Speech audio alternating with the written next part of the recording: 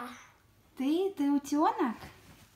Как папа утенок. А мама кто?